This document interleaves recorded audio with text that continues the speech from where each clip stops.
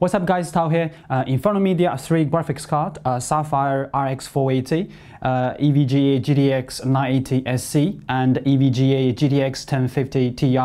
Um, I've been testing these three graphics cards uh, within my Hackintosh system and just to edit within the Final Cut Pro just to see how well these three cards perform. I actually done a uh, testing uh, before uh, is between the very old uh, Radeon HD 5870 and this EVG GTX uh, 980 SC. Um, at the time, uh, I had a X99 system. I could not get the hardware acceleration and Intel QuickSync enabled within that etc uh, etc uh, so now this I've changed the system so I'm gonna just retest the whole uh, graphics card retest the whole system again just to see how these three graphics card perform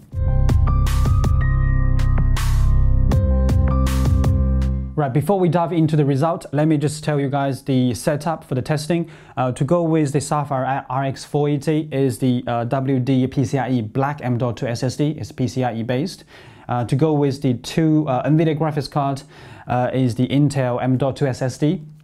It's SATA based and the, the actual editing drive is on a Crucial 2.5 inch uh, SSD.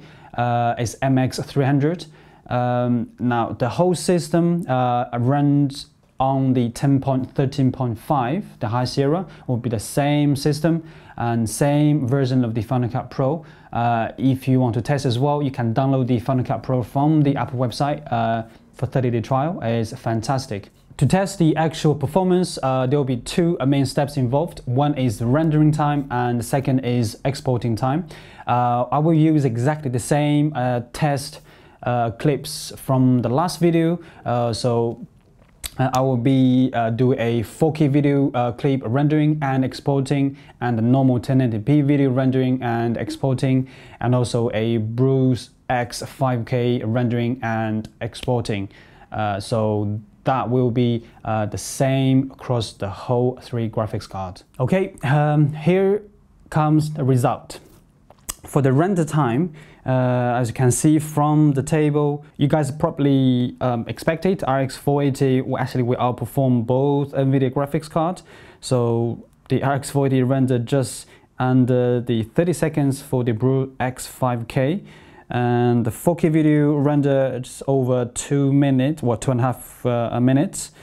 And the 980 SC and the 1050 Ti, they both rendered the longer time than the X480. So you guys probably think, nah, this is know, expected. Hold your horses, guys. Now, check out the export time. So the GTX 1050 Ti actually take less time to export the Bruce X 5K and less time to export 1080p video and less time to export 4K video. So that actually outperformed the 980 SC as well. It's like, what?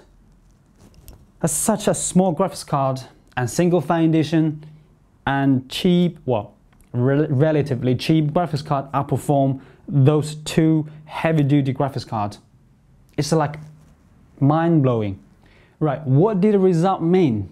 Well, to me is NVIDIA is playing a catch-up game very, very fast. Now, uh, since the High Sierra, so the NVIDIA driver actually performed extremely well in terms of the system stability and for my instance, the Final Cut Pro within the Hackintosh. Now, don't get me wrong, when you use the 1080 Ti uh, within the Final Cut Pro, do a rendering and exporting the performance really, really good but there is huge but. So when you do a timeline scrubbing, especially in the 4K, so the 1080 1080, uh, the, 1050, the 1050 Ti, you do feel a little bit laggy, it's not quite as smooth as the 90 SC and the RX 480.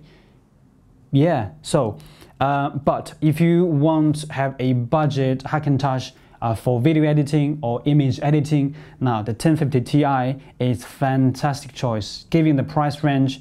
Now bear in mind these two cards, the um, 480, RX480 and the 90, they're both quite old. The 1050 Ti is based on the Pascal architecture. So is big thumbs up and for value Hackintosh maybe.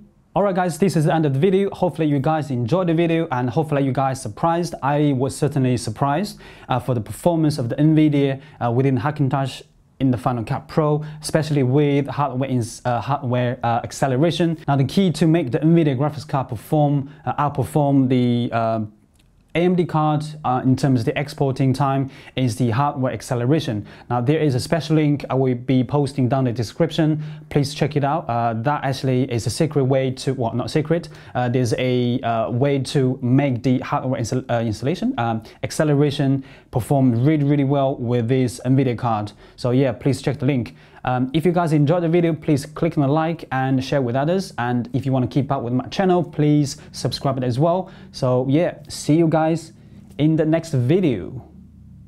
That's awesome. Yeah. Oh shit, can't, can't reach it.